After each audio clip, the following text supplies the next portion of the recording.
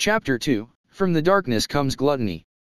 Pleasantly tipsy off my glass of wine, I decided to check on Lady Roxy before heading back to the hovel I called home. After the incident with Riffle earlier, I was worried about her. Riffle was as sly as they came, but I didn't think he would lash out right away. Still, I couldn't get his cunning smile out of my head. I knew a weakling like me would be no help to Lady Roxy if anything happened, but I could at least provide her with a human shield. I followed the moonlit roads to a point from which I could see the castle gate. Lady Roxy stood resolute at her post. I heaved a great sigh of relief. I had worried over nothing, it seemed.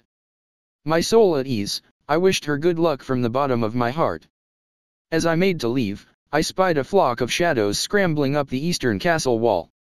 That area was a blind spot for anyone on guard duty, and it was only by coincidence that I spotted it from where I stood.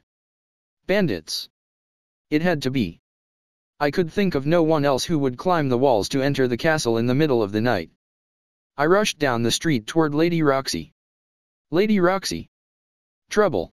What's wrong? Shouldn't you be at home? I went for a walk to clear my head. There's a group of people scaling the east wall. Are you certain? Yes. I saw it with my own eyes. I wasn't sure Lady Roxy would believe me, but she looked me in the face and said, I trust you. I'm heading over there now. Will you look after the gate while I'm gone? Yes, of course. She passed me the gatekeeper's spear. Good luck, Lady Roxy, I said. Leave it to me. Lady Roxy unsheathed a silver sword from her belt. As long as I have this with me, I'll be fine. She sped off toward the eastern wall. Instantly, she disappeared into the darkness. Wow, those holy knights are fast. Then I heard the screams of the men inside. It was easy to imagine quick, gallant Lady Roxy cutting the bandits down one after another. Judging by their screams, the bandits had come in significant numbers. There were definitely more than two or three. Still, Lady Roxy was a holy knight. A group of lowly bandits couldn't catch her off guard. Sure enough, the sounds of battle soon faded into silence. Just when I thought it was over, a lone man staggered out of the darkness toward me. As he drew closer, the moonlight brought his features into sharp relief. My breath caught in my throat at the sight of him. The bandit's right arm had been cut off, and as he stumbled toward the gate where I stood, he tried desperately to stop the bleeding with his left hand. His face was pale, sickeningly white from blood loss. I gripped my spear. I wouldn't let him get away. It didn't matter that he was a dying human being, he was a thief, a violent criminal, and he needed to be stopped. If he escaped while I was covering for Lady Roxy, the blame would ultimately fall on her shoulders. I couldn't let that happen. I had to kill him. He's wounded, I thought. Even someone as weak as me should be able to handle this. Gritting my teeth, I thrust my spear with everything I had. It pierced the bandit's heart. He gripped the spear with a wild, intense glare, then fell on his back in a horrific spray of blood. His arms and legs spasmed for a time, until finally his body stopped moving. There was no mistaking it. The bandit was dead. I did it I killed him. I, huh. I felt something flow into my body, followed by the echo of a metallic voice in my head. Gluttony skill activated. Stats increased, Vitality plus 120, Strength plus 150, Magic plus 100, Spirit plus 100, Agility plus 130. Skills. Added, Identify, Telepathy. Stats increased. Skills added? What's this voice? What's going on? Then the most wonderful, glorious sensation that of an eternally empty stomach truly filling for the first time. I'd never felt so satisfied in my life. While I was lost to this ecstasy, Lady Roxy returned to the gate. She took my hand and looked me over, checking for injuries. Are you okay? Are you hurt? Is he alright? He looks pale. Oh, I'm so worried. What was that? I could hear Lady Roxy's voice in my head. She wasn't speaking, but somehow, her words swam into me. What's wrong, she asked. No, it's nothing, I said. I'm fine. He's fine.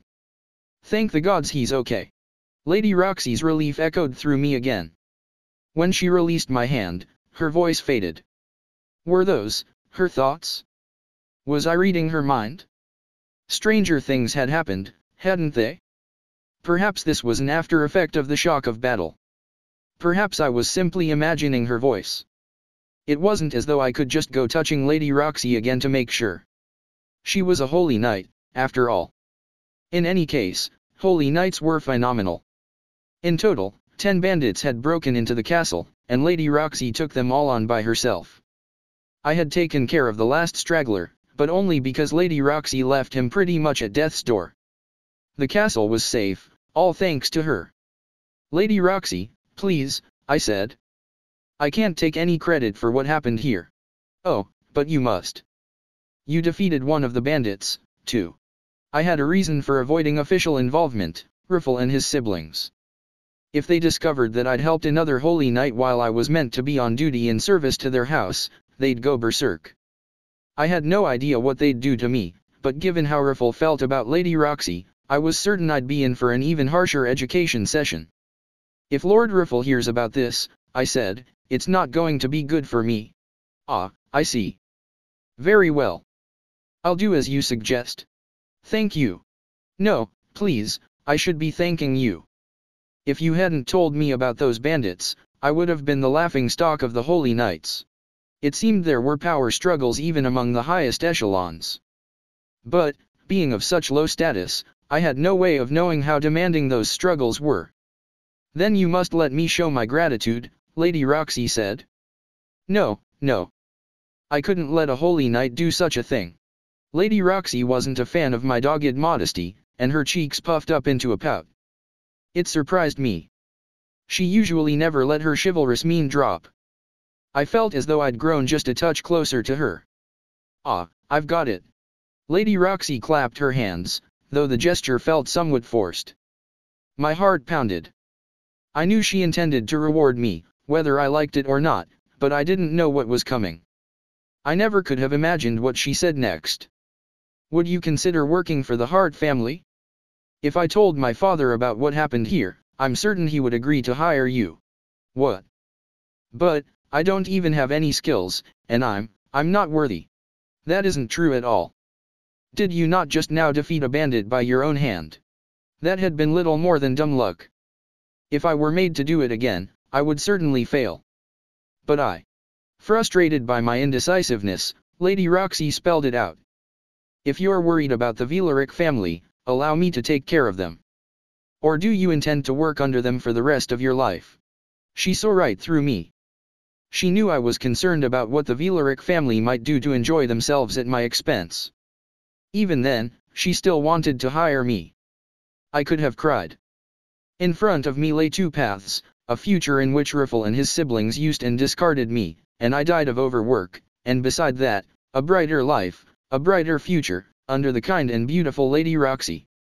I didn't need to think twice. I was already one of Lady Roxy's devotees. This was like a dream come true. Lady Roxy, I said, I accept your offer. Excellent. Well, it's late, so you should go home. Come to Hart Manor at noon the day after tomorrow. I'll be waiting.